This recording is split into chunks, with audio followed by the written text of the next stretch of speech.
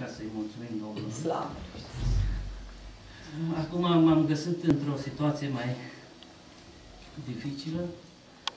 M-am răgușit, am, sunt un pic răcit și mă scuzați. Doamne să te binecuvânt. Amin. Hai să ne plecăm capete și să cerem ajutorul Domnului peste Amin. tot cuvântul din ziua aceasta de astăzi. Amin, te rog. Amin. Amin.